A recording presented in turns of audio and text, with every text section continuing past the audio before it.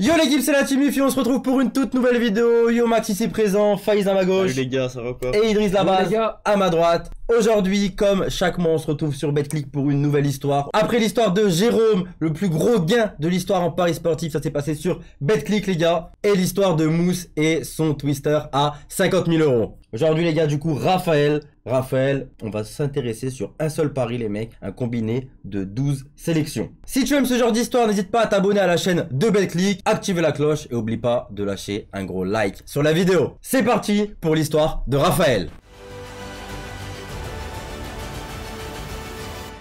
Bien évidemment les gars, à chaque fois on donne des petits surnoms, Mousse, euh, GG, et cette fois-ci ça sera Raph. Raph. Raphaël il s'est inscrit en 2013 sur BetClick. Le petit kiff de Raphaël c'est le foot et le tennis. En tennis généralement il mise des 2-1 en score, en score final, tu sais les... Les ça. sept. Ouais, c'est ouais. les 7, ouais. Exactement. Raphaël, il a le goût du risque. Il aime bien les combinés. Il aime bien, genre, envoyer des petites sommes 5 euros, 10 euros, mais sur des combinés à 10, 20, 30, 50, 100, 200, 1000, 2000 de côte. Il a le goût du risque, mais faut savoir un truc, c'est qu'au final, avec euh, sa stratégie, euh, en fait, il gagne de temps en temps et il est plutôt en positif. D'ailleurs, sur l'année 2021, il a fait quelques retraits sympathiques sur BetClick. Hein. Ouais, en gros, c'est un mec qui essaye de toucher le gros lot sur le foot et le tennis, quoi. Exactement. Voilà, c'est ça. Et tu vas voir l'histoire, hein, elle part de là. Justement, il a fait une combinée de 12 sélections qui est magnifique. On va y venir. Donc là, mettez-vous en condition. Samedi 10 avril, midi.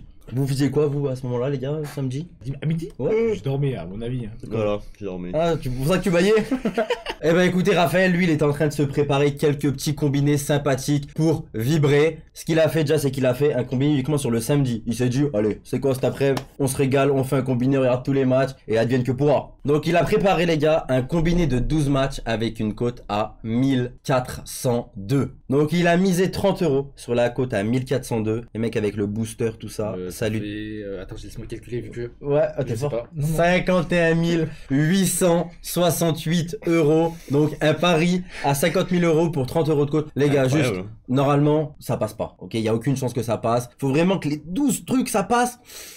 Avec ça, bien sûr, 50 000 euros, on l'a déjà dit, hein, t'es bien euh, pour, tu, pour le placement immobilier, pour mettre de côté. T'es très bien, 50 000 euros, donc voilà. T'améliores ton train de vie euh, rapidement. Oui, c'est vrai. J'ai une petite question, les gars. Si vous faites un pari comme ça, est-ce que vous vous mettez toute la journée devant les matchs ou pas? Moi, pour l'avoir déjà fait, les gars, non, moi j'en ai fait plusieurs. Comme ça, Ouais. je mettais 5, 10, 20, 15 selon les paris. Et, En tu fait- vois, et genre, si En fait, tu... je, je veux revenir avant la surprise ou alors les dernières minutes, je regarde. vite exactement. Ouais, en fait, en général, Si tu passes 5, 6, 7 et qu'ils arrivent Voilà. à sur 3, les 10, ouais. sur les 12, il y en a 10 qui passent. Je regarde les deux derniers matchs.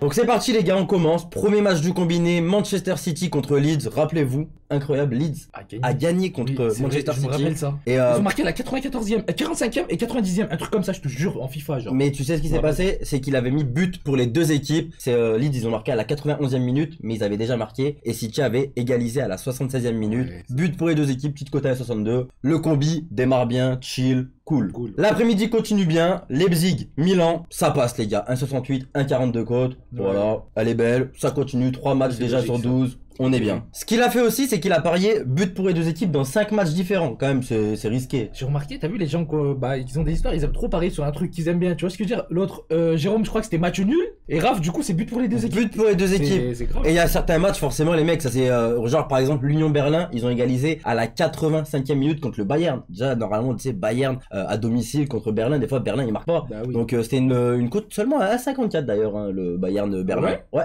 Même Strasbourg PSG, but pour les deux équipes. Strasbourg qui met un but au PSG. Ouais, c'est vrai, ça aussi. Mais elle doit être élevée celle-là. Elle était à Non 1,77 cote là. Donc c'est quand même une belle cote, une jolie cote. euh, Pour un combiné de 12 ouais, matchs, Franchement, ouais. ça augmente bien la cote, vous connaissez les gars. Dans le même temps, il a validé ses paris tennis, les mecs. Il a encore fait un, un 2-1. Pablo Carreno Busta contre Ramos Vinolas. Je connais pas du tout le tennis, les tennisman. Ouais, elles sont belles les cotes euh, score et finale, je crois bien. Ah oui, oui. Ah ouais, bah Parce que, 3,55 pour la, la cote du scoring euh, final pour euh, le tennis. Il y a aussi un match géré au, au tennis qui a gagné. Donc là, il connaît bien le tennis, je pense. Donc voilà, il sait ce qu'il fait. Bah, il regarde tous les matchs. Je pense qu'il doit, il doit connaître euh, tous les, bah, tous les sports qui, qui misent, quoi. Je pense. Et il a même misé du top 14, les mecs, avec La Rochelle qui, euh, qui bat Salle ou Salé. Je connais pas vraiment pareil le rugby, les gars. Nous, on est foot. hein. Vraiment, vous le savez.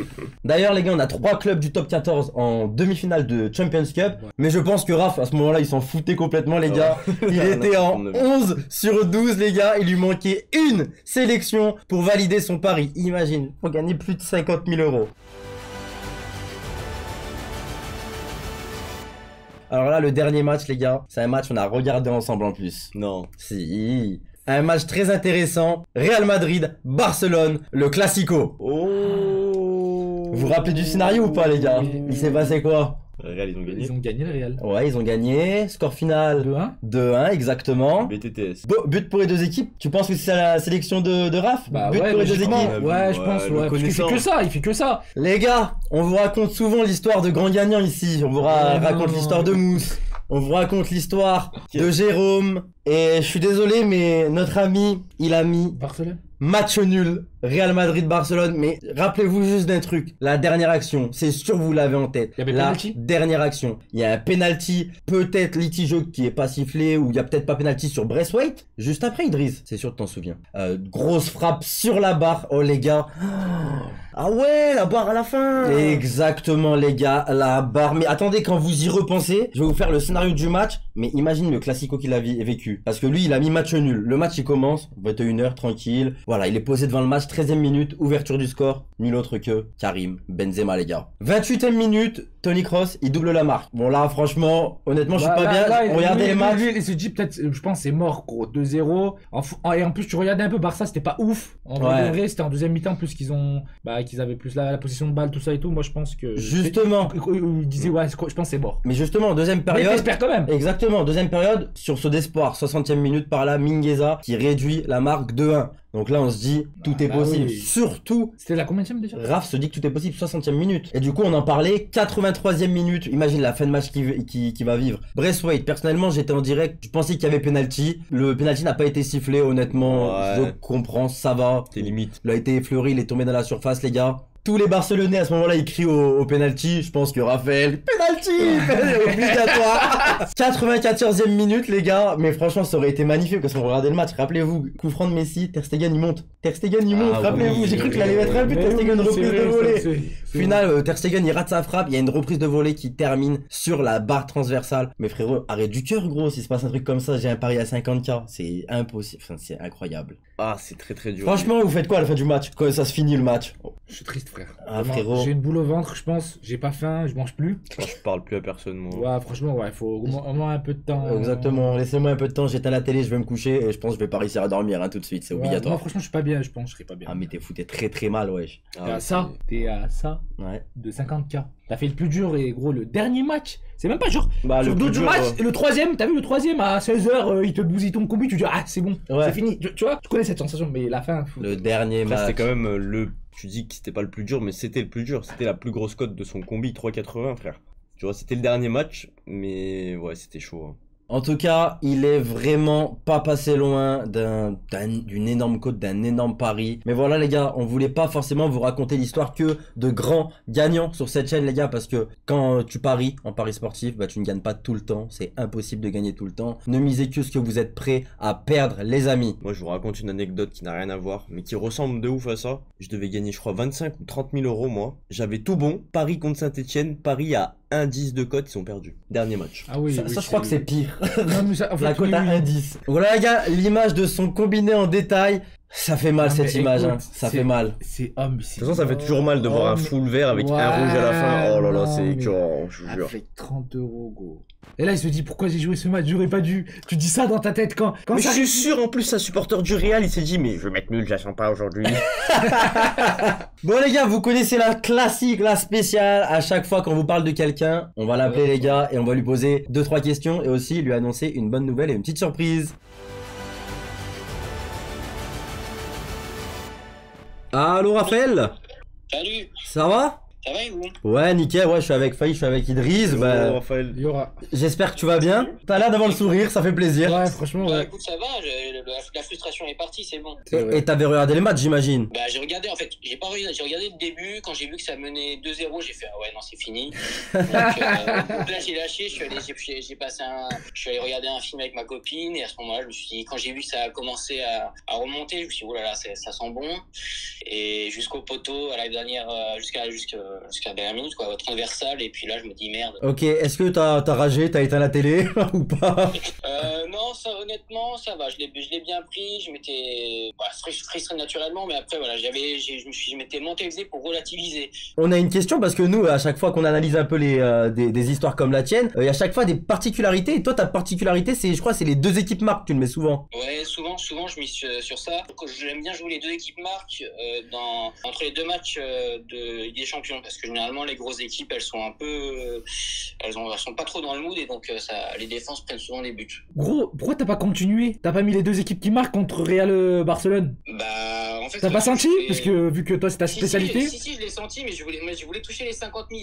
Ah ok, ouais, mais c'est toujours ça, c'est toujours ce- un palier. J'ai misé la cote à 3 pour les 50 000, c'est pour ça. Et pareil, euh, en tennis, pareil, tu mets des, souvent des 2-1, non, je crois, en score final. Donc souvent, en tennis, j'aime bien miser le tennis parce que 2-1, t'as souvent des cotes à 2,90, euh, 3, et pour des scores qui arrivent relativement assez souvent, donc euh, ça vaut le coup, tu vas te miser dessus. Nickel. Bah écoute, j'ai un- une bonne nouvelle pour toi. Tu n'as pas tout perdu. Euh, écoute, BetClick, il souhaitait euh, bah, un, lot, un lot de consolation, j'ai envie de te dire. Tu vas repartir avec un maillot du Real Madrid et Oh, un week-end à Madrid ou à Barcelone offert. Mais voilà, BetClick quand même, ils, ah ouais, voilà, bah, ils vont bah, te faire. Merci Betclic, hein, merci Bah. Betclic. Et puis, bah, du coup, je remercie Benzema pour sa talonnade aussi. Hein, alors.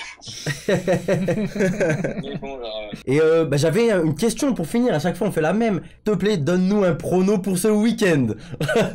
Bah, j'ai pas encore regardé, mais promis, j'analyse un peu et euh, je, vous- je vous balance le chrono. Les gars, le prono s'affichera tout de suite. C'est le prono de Raph. Et bah, écoutez, merci beaucoup en tout cas. Bah merci beaucoup à bravo toi. Raph. Et bravo quand même, hein, au final. Tu vas essayer de refaire un pari à 50 000, non? Voilà, bah, hey, vais, essayer de refaire comme Jérôme peut-être, ouais, pourquoi pas. Et bah les gars, on se retrouve bientôt avec une deuxième vidéo sur Raph. Merci à toi, Raph. Merci Raph. Ciao, ciao. Grave cool, Raph, les mecs. Moi, les gars, ce que je vais faire, on va aller chercher deux petits paris, les deux équipes marquent là, et on va aller mettre 2 ou 3 euros là. Et j'espère qu'on va. La prochaine vidéo, des fois, sera sur nous. J'espère, les gars. Ah, grave les gars. Comment la team IFI est devenue? Ah, laisse tomber Bon, cette fois-ci, les gars, on vous a pas parlé de l'histoire d'un grand gagnant, comme je vous ai expliqué tout à l'heure. C'est bien aussi de contrebalancer. Voilà, les paris sportifs, faites attention, les amis. Ça s'est joué cette fois-ci à une barre transversale à la 94e minute. Si vous avez aimé, comme d'habitude, ce type de vidéo, lâchez un gros pouce vers le haut, l'équipe. Et abonnez-vous à la chaîne pour pas rater le prochain contenu. C'était la team IFI. ciao. ciao. Ciao.